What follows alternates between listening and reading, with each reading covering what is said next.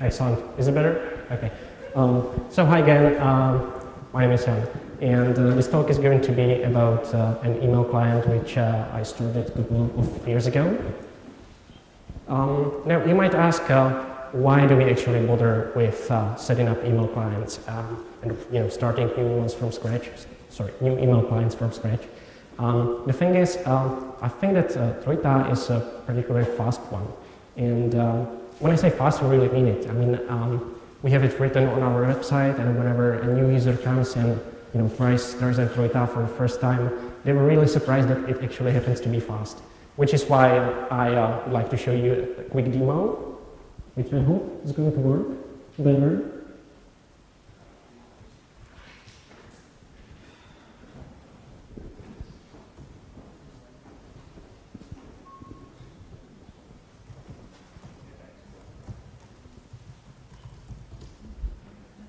Excellent. Um, so what I'm going to do in this demo is, uh, you know, just a very simple benchmark. How much time does it take to open a mailbox which contains something like half a million of email messages? And uh, I can tell you a secret, it's going to take 15 seconds, which seems like an eternity when you're sitting here, standing here. So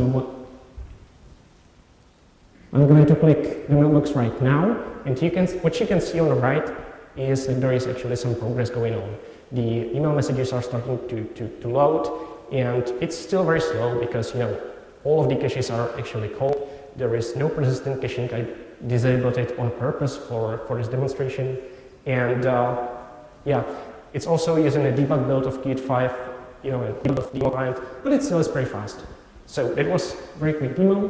What I can do, um, I can search, yeah, another mailbox. You know, it comes up quick. At least when I go back to the to the original half a million email messages link is going to very quickly. Yeah, something like two seconds. So, um, now you might ask why, you know, why exactly is it so fast? Um, so the biggest reason is uh, lazy loading, uh, which means that uh, Trojita doesn't actually, you know, load anything which is not needed. It's you can see new messages start to start to appear, and everything essentially happens on the fly. That simple flashing, which you can see, is that uh, you know these are some placeholder messages. Um, another reason, another reason for being so fast is uh, it will delegate doing as much as possible to the IMAP server, which means, for example, sorry, if uh, if we are searching through the emails uh, the search is not actually going to, to happen on your device, but it's all done to, on the server side, and what you get back is just a result. And uh, of course, everything is cached, which means uh, whatever, whenever something was already downloaded, it really won't you know, keep downloading it over and over again. Um, if, you open, if you open an email which contains a huge attachment, for example, the picture of, of your friend's kids or whatever, um, the first thing which Trojita does is to is asking the server for the structure of the email, and uh, you get back you know quite a compact data structure, and you see just the just the textual content of the email, and uh, yeah, the attachments are loaded uh, only when needed. Um, there is of course a catch with this, uh, and the catch are called crappy IMAP servers. Um, there are actually two sorts of crappy IMAP servers. Um, the first of them are more or less harmless because you know if uh, an operation is just slower or takes a little more time or or you know transfers a lot more data, it doesn't really matter. Um, what is a little bit more annoying are uh, um, IMAP servers which uh, which lack some features. For example, um, and you know this is quite an often often requested feature. Um, there is Gmail, which uh, unfortunately doesn't really support um, you know email threading or conversations, showing messages in threads. Um, the thing is, Gmail actually does support something very similar, but the catch is they are doing this in non-standard manner. And I mean, it would be really terrific to have you know a new feature within Trojita which which uh, would add support for this thing, but so far nobody's contributed it yet. But you know, we're open for accepting patches and yeah. Um, I can show you a couple of, or I can tell you a couple of numbers or statistics. We started in uh, 2006, uh, we joined KDE in 2012, which is actually you know, the time where it actually became usable for day-to-day work. And um, I mean, joining the KDE was quite really nice experience, um, especially the Summer of Code and Google Code in uh, competitions or well, collaboration. Karan Luthra, who is sitting right there, right? He, he's one of our Summer of Code students, and uh, you know, working with all of the new guys was something which I really liked. And um, so far, more than 70 people has contributed to Trojita, which is quite a nice thing. Um, I'm not including translators because you know translations are really different, separate uh, repository. And uh, yeah, if we are speaking about the size of the project, um, these numbers are really, really, you know, something like estimates. And I think that on the complexity scale, we are roughly comparable to either Okular or uh, Konversation. Something in, between, you know, it really depends on what sort of uh, metric you, you, you want to look at. Um, about the roadmap, uh, as you maybe have seen when, when I showed the uh, user interface, it's sort of simple. And uh, no, that's not a bug, that's a feature. But the thing is, right now we only support a single email, single email account, which uh, is sort of, you know, useless limitation.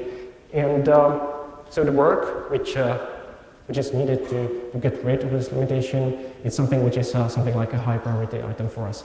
And uh, you know, but still, lack of time, whatever. Um, I think that all of the technical layers are in place, and you know, this is just more or less a matter of fixing a couple of UI, UI classes, but you know, it's still still not done. Um, another thing which we plan to do in future is uh, integrating the, the, work which another summer school student, Stephan Platz, has done. It's about uh, finally supporting OpenPGP encryption and something else. Um, yeah, and there is the final thing. Uh, maybe some of you are, might be familiar with, uh, with the Ubuntu phone thing.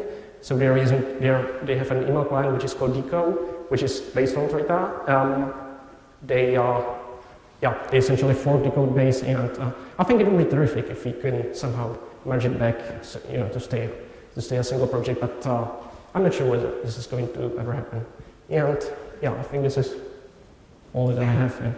Sorry once again for the huge delay with uh, extra intermissing.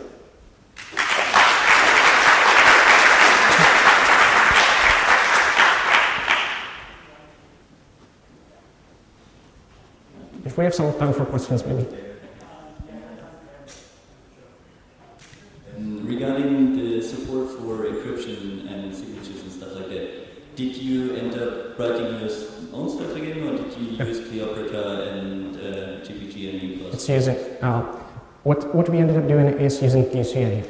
And QCA unfortunately uses uh, the command line interface for, for, for GPG, I think. Why not KDE? Well, you know, if there is a choice between uh, a pure Qt library, which is distributed with KDE, which QCA is, which, you know, look like an obvious first choice.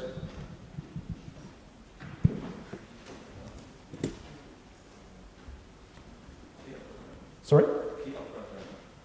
Okay, well, yeah, I think it would be possible as well, but, yeah, I think, you know, any, any library is going to work. I mean, maybe I wasn't clear enough. We are using the QCA library, and the QCA library already handles everything which we need. So, uh, yeah, it's essentially just a Qt wrapper around something.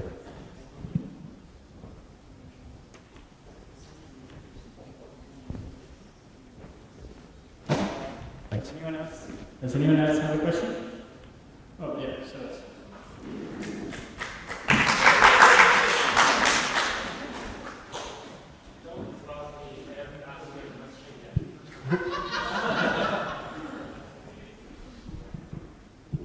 Hi, so we're uh, looking for a cruise time for Plasma Mobile. Um, I know that uh, part of Trojita is already running on a mobile platform. That's right, yeah. Um, we would love to see um, a Kerala-based live for Brigitte running on Plasma We would not like to fork a forked version of Brigitte. Um, that was the time for the others, right? yeah. Um, so, uh, do you want to work with us? Yeah, I think that's great. I mean, uh, you know, uh, I have quite a lot of stuff to, to take care of in, you know, professional life and personal life, but uh, I think this makes a lot of, lot of sense to, I mean, this is quite specifically an on-topic thing for Trojita, and uh, yeah, I think it makes a lot of, lot of sense. And uh, in fact, I think that, uh, you know, the stuff which uh, was done for the Harmattan port back when, you know, Nokia was still in the game, and also what, uh, what was done by both us and the Ubuntu guys for, for Dekko, it's actually, you know, us quite a long way towards, you know, just making a QML user interface for, for something. Yeah. So, yeah. So I think it'd be terrific, yeah. I'd be very, very happy to help.